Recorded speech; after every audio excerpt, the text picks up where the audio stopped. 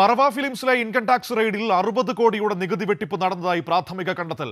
Manjummel boys സിനിമയുടെ വരുമാനം കേന്ദ്രീകരിച്ച് നടത്തിയ അന്വേഷണത്തിലാണ് ഞെട്ടിക്കുന്ന കണ്ടെത്തൽ. പണത്തിന്റെ ഉറവിടം അന്വേഷിക്കും. നടൻ സവിൻ ഷാഹിറിനെ ചോദ്യം ചെയ്തേക്കും. വിവരങ്ങളുമായി അർച്ചന കൊച്ചിയിൽ നിന്ന് ചേരുകയാണ് അർച്ചന. ഈ മഞ്ഞുമൽ ബോയ്സ് സിനിമയുമായി ബന്ധപ്പെട്ട് അതിന്റെ വിജയത്തിന് ശേഷം പണ ഇടപാടുകളുമായി ബന്ധപ്പെട്ട് പല തരത്തിലുള്ള വിവാദങ്ങൾ വാർത്തകൾ നേരത്തെ ഉയർന്നു വന്നതാണ്. ഈ പറവ ഫിലിംസിന്റെ ഓഫീസിൽ നേരത്തെയും റെയ്ഡുകൾ നടന്നത് നമ്മൾ കണ്ടതാണ്. പക്ഷേ ഇന്നലെ നടന്ന പരിശോധനയിൽ ഏകദേശം അറുപത് കോടി രൂപയുടെ വലിയ തട്ടിപ്പ് നടന്നിട്ടുണ്ട് എന്ന വിവരങ്ങളാണ് ഇപ്പോൾ പുറത്തേക്ക് വരുന്നത്.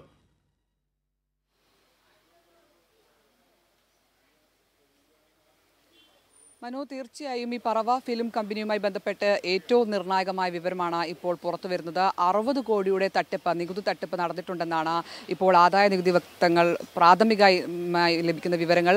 എന്തായാലും ഏറ്റവും പ്രധാനപ്പെട്ട വിവരമാണിത്. മറ്റ് ഏഴ് കേന്ദ്രങ്ങളിലാണ് ഇതുമായി ബന്ധപ്പെട്ട് പരിശോധന നടന്നത് ഇപ്പോഴും പരിശോധന തുടരുകയാണെന്നാണ് ഈ വൃത്തങ്ങൾ അറിയിക്കുന്നത്. എന്തായാലും ഇന്നലെ വിശദമായ അന്വേഷണമാണ് ഇതുമായി ബന്ധപ്പെട്ട് നടന്നിരിക്കുന്നത്. ഒരു സിനിമയിൽ നിന്നാണ് ഇത്രയും വലിയ നികുതി വെട്ടിപ്പ് നടന്നതെന്നാണ് മനസ്സിലാക്കുന്നത്. പ്രധാനപ്പെട്ട കാര്യമാണ് അർച്ചന അതിന്റെ പ്രധാനപ്പെട്ട വിഷയം എന്ന് പറയുന്നത് ഏകദേശം ഒരു അർച്ചന അർച്ചന അതിന്റെ ഒരു പ്രധാനപ്പെട്ട വിഷയം. അന്ന് ഏകദേശം ഒരു ഇരുപത് കോടി രൂപയ്ക്ക് താഴെ ബഡ്ജറ്റിലാണ് ഈ സിനിമ ഷൂട്ട് ചെയ്യുന്നത് ഈ മഞ്ഞുമൽ ബോയ്സ്.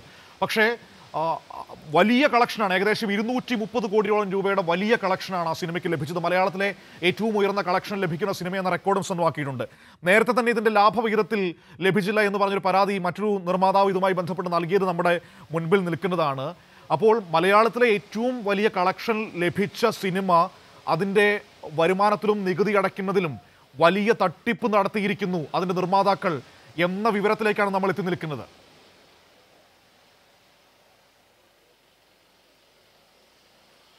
തീർച്ചയായും അത്തരം തുടക്കം മുതൽ അത്തരം ഒരു സംശയം ഉണ്ടായിരുന്നു. അതിന്റെ അടിസ്ഥാനത്തിലാണ് ഇ ഡിയും പിടിമുറുക്കിയത്. ഇപ്പോൾ ആദായ നികുതി വകുപ്പും അതിലാണ് ഇപ്പോൾ ഏറ്റവും പ്രധാനപ്പെട്ട വിവരങ്ങൾ ലഭിക്കുന്നത്. നേരത്തെ തന്നെ ഈ ഇതുമായി ബന്ധപ്പെട്ട് അതായത് പണമിടപാടുമായി ബന്ധപ്പെട്ട് കൃത്യമായ രേഖകൾ ഹാജരാക്കുന്നില്ല എന്നൊരു ആക്ഷേപവും ഉയർന്നിരുന്നു. ഇതിന്റെ അടിസ്ഥാനത്തിൽ തന്നെയാണ് ആദായ നികുതി വകുപ്പ് ഇന്നലെ കൃത്യമായ പരിശോധനയിലൂടെ ഇത്തരത്തിൽ ഈ നിർണായകമായ രേഖകളെല്ലാം കണ്ടെടുത്തത്. ഇതിലാണ് ഇപ്പോൾ അറുപത് കോടിയുടെ നികുതി തട്ടിപ്പ് നടത്തിയിട്ടുണ്ടെന്ന് വ്യക്തമാവുന്നത്.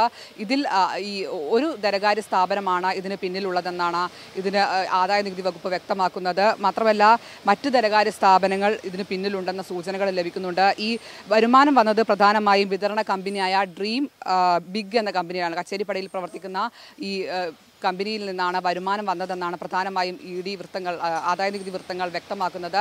എന്തായാലും സൗബിൻ സാഹിറിനെതിരെയും പറവ ഫിലിംസ് കമ്പനിക്കെതിരെയും ഗുരുതരമായ ആരോപണങ്ങളാണ് ഇപ്പോൾ വരുന്നത്. അതിന്റെ അടിസ്ഥാനത്തിലാണ് കഴിഞ്ഞ ദിവസങ്ങളെല്ലാം തന്നെ പരിശോധന നടത്തിയത്. പ്രധാനമായും ഏഴ് കേന്ദ്രങ്ങളിലാണ് പരിശോധന നടത്തിയത്. ഇപ്പോഴും വിവിധ കേന്ദ്രങ്ങളിൽ ഇതുമായി ബന്ധപ്പെട്ട പരിശോധനകൾ തുടരുകയാണ്. എന്തായാലും ഇതിൽ നിന്നും കൃത്യമായ വിവരങ്ങൾ ശേഖരിക്കാൻ സൗബിൻ ഷാഹിറിനെ കൃത്യമായി ചോദ്യം ചെയ്യണമെന്നാണ് ആദായ നികുതി മറ്റൊരു പ്രധാനപ്പെട്ട കാര്യം. സൗബിനെ ചോദ്യം ചെയ്യാനുള്ള സാധ്യത ഉടനെ കാണുന്നുണ്ടോ? ഹാജരാക്കാൻ സൗബിൻ ഷാഹിറിന് കഴിഞ്ഞിട്ടില്ല. തീർച്ചയായും ഇത്രയും അറുപത് കോടി എന്ന് പറയുന്നത് ചെറിയ തുകയല്ല അത്രയും തുക വെട്ടിപ്പ് നടത്തിയെന്നതിന്റെ ഗുരുതരമായ സ്വഭാവമുള്ളതാണ്. അതുകൊണ്ട് തന്നെ ഉടൻ തന്നെ സൗബിൻ ഷാഹിറിനെ ചോദ്യം ചെയ്യാനാണ് ആദായ നികുതി വകുപ്പിന്റെ നീക്കം. മാത്രമല്ല കൃത്യമായി ഇതിനോട് സഹകരിക്കുന്നില്ല എന്ന് തന്നെ നേരത്തെ തന്നെ ആദായ നികുതി വകുപ്പ് വ്യക്തമാക്കിയിരുന്നു. അതുകൊണ്ട് തന്നെ പണം എവിടെ നിന്ന് വന്നു പണത്തിന്റെ സ്രോതസ്സുകൾ അന്വേഷിക്കുക തുടങ്ങിയ കാര്യങ്ങളെല്ലാം തന്നെ അന്വേഷണ സംഘത്തിന് മുന്നിലുണ്ട്. അതിന് സൗബിൻ ഷാഹിർ ചെയ്യൽ അനിവാര്യമാണ്.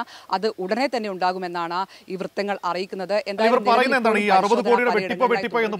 ഇന്നലെ ഏഴ് അർച്ചന അപ്പോൾ ഈ ആദായ നികുതി വകുപ്പ് അറുപത് കോടിയുടെ വെട്ടിപ്പ് പറവ ഫിലിംസ് നടത്തി അല്ലെങ്കിൽ ഈ സിനിമയുമായി ബന്ധപ്പെട്ടവർ നടത്തി എന്ന് പറയുമ്പോൾ അത് ഏത് തരത്തിൽ നടത്തിയെന്നാണ് പറയുന്നത്? നികുതി അടയ്ക്കാത്തതിന്റെ പ്രശ്നമാണോ? അതോ കള്ളപ്പണമടക്കമുള്ള കാര്യങ്ങൾ ഈ നിർമ്മാണത്തിന്റെ പുറകിൽ ഉപയോഗിച്ചു എന്നതാണോ ഇവർ പറയുന്നത്? അവരുടെ വിശദീകരണം എങ്ങനെയാണ് നമുക്ക് മനസ്സിലാക്കാൻ പറ്റുന്നത്?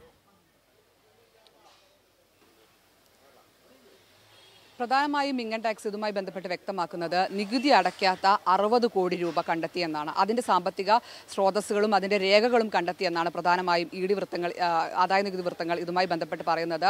മാത്രമല്ല ഇവരൊരു സർവേ രൂപേണയാണ് നടത്തിയത്. ഈ സർവേയിലാണ് ഇത്തരത്തിൽ നികുതി അടയ്ക്കാതെ അറുപത് കോടിയുടെ രേഖകൾ കണ്ടെത്തിയെന്ന് പ്രധാനമായും ആദായ നികുതി വകുപ്പ് വ്യക്തമാക്കുന്നത്. ഇതിന്റെ അടിസ്ഥാനത്തിൽ ഇതിന്റെ പണ ഈ പണത്തിന്റെ സ്രോതസ് എവിടെ നിന്ന് വന്നു എന്നടക്കമുള്ള കാര്യങ്ങൾ അന്വേഷിക്കേണ്ടതുണ്ട്. ഇത്ര സിനിമയിൽ നിന്ന് ലഭിച്ച തുകയാണെന്നാണ് നിലവിൽ നിലവിൽ പ്രാഥമികമായി ലഭിക്കുന്ന വിവരം ഇതിന്റെ എല്ലാം തന്നെ വ്യക്തമായ സ്രോതസ് അറിയാൻ സൗബിനെ പ്രധാനമായും ചോദ്യം ചെയ്യേണ്ടതുണ്ട്. ഒരുപാട് ദുരൂഹതകൾ ഇതിന് പിന്നിലുണ്ട്. നേരത്തെ തന്നെ ഇതുമായി ബന്ധപ്പെട്ട് ഇ ഡി അന്വേഷണം കടുപ്പിച്ചിരുന്നു. അതിന് പിന്നാലെയാണ് ആദായ നികുതി വകുപ്പ് ഇപ്പോൾ ഈ അന്വേഷണവുമായി മുന്നോട്ട് പോകുന്നത്. ഇനിയും പരിശോധന നടക്കേണ്ടതുണ്ട്. അവിടങ്ങളിൽ നിന്നെല്ലാം തന്നെ ഇത്തരത്തിൽ രേഖകളാണ് പ്രധാനമായും പരിശോധിക്കുന്നത്. അത് മഞ്ഞുമൽ ബോയ്സ് എന്ന സിനിമയുടെ സാമ്പത്തിക ഇടപാടുകളുമായി ബന്ധപ്പെട്ട രേഖകളാണ് ശരി ഏതായാലും അത് വളരെ. പ്രധാനപ്പെട്ട കാര്യം തന്നെയാണ്. മലയാളത്തിലെ ഏറ്റവും കളക്ഷൻ നേടിയ സിനിമ എന്ന നേട്ടവുമായിട്ട് നിൽക്കുന്ന പടമാണ് മഞ്ഞുമൽ ബോയ്സ് എന്ന് പറയുന്നത്. ഇപ്പോൾ അറുപത് കോടി രൂപയുടെ നികുതി വെട്ടിപ്പ് ആ സിനിമയുമായി ബന്ധപ്പെട്ട് നടന്നിരിക്കുന്നു എന്ന വലിയ പ്രശ്നമാണ് ഇപ്പോൾ ആദായ നികുതി വകുപ്പ് കണ്ടെത്തിയിരിക്കുന്നത് എന്നാണ് അവർ വിശദീകരിക്കുന്നത്. ഈ സൗബിനെ നിർമ്മാതാവായ സൗബിനെ വളരെ വേഗത്തിൽ ചോദ്യം ചെയ്യേണ്ടതുണ്ട് എന്നാണ് ഇപ്പോൾ ആദായ നികുതി വകുപ്പ് സ്വീകരിച്ചിരിക്കുന്ന നിലപാട്. അത് ഉടൻ നടക്കുമെന്നാണ് അവർ പറയുകയും ചെയ്യുന്നത്. വിവരങ്ങളാണ് അർച്ചന നൽകിയത്.